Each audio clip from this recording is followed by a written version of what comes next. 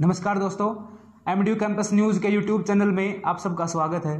दोस्तों एमडीयू के और हरियाणा के अलग अलग यूनिवर्सिटीज़ के जो पीजी के दाखिले की प्रक्रिया है, वो चली हुई है। एमडीयू की पीजी के दाखिले की प्रक्रिया दोस्तों, शुरू हो चुकी है। पहली मेरिट लिस्ट लग चुकी है और कल तीस तारीख तक उसकी फ़ीस काट दी जाएगी और एक तारीख को दोबारा से दूसरी सेकंड मेरिट लिस्ट लगा दी जाएगी। इसी तरह दोस्तों, बाकी यूनिवर्सिटीज़ के अंदर, किसी के अंदर फॉर्म भरवाए जा रहे हैं, किसी की काउंसलिंग चल रही है। तो इसी बीच बहुत से छात्रों के दोस्तों सवाल आ रहे हैं कि जो हरियाणा के कॉलेज हैं, उनके पीजी के दाखिले कब खुलेंगे? पीजी के लिए ऑनलाइन अप्लाई के लिए फॉर्म पोर्टल कब ओपन होगा?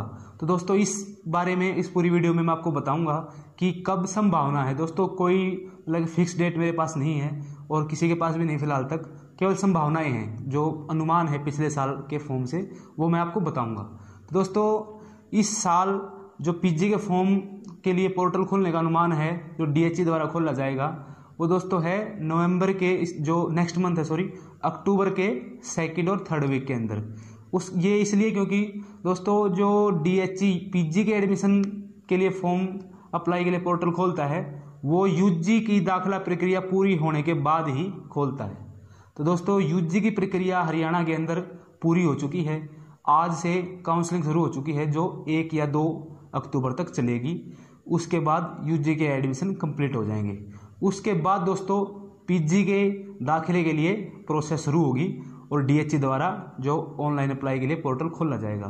तो दोस्तों, पिछले साल का जो शेड्यूल था, वो यूजी के एडमिशन का शेड्यूल था। यूजी के एडमिशन पिछले साल 2020 के अंदर दोस्तों 7 सितंबर से लेकर जो 24 या 26 अक्टूबर तक दोस्तों चले थे, उसके बाद 24 नवंबर को पीजी के लिए अप्लाई के लिए फॉर्म, अप्लाई के लिए पोर्टल खोल दिया गया था। तो दोस्तों, ये प्रोसेस पिछले साल यूजी के एडमिशन के बाद हुई थी।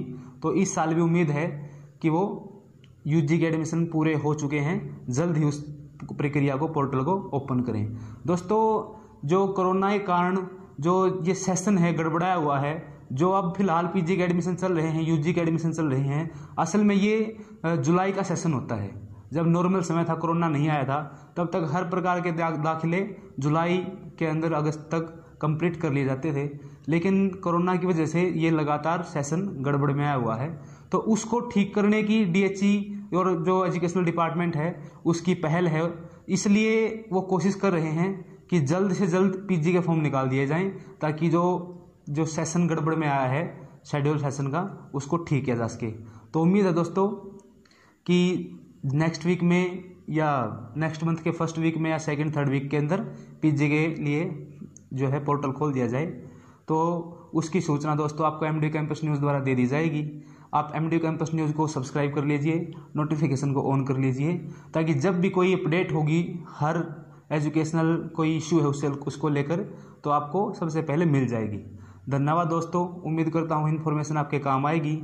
एम डी कैंपस न्यूज़ से इसी तरह जुड़े रहिए और औरों को भी जोड़िए। धन्यवाद दोस्तों।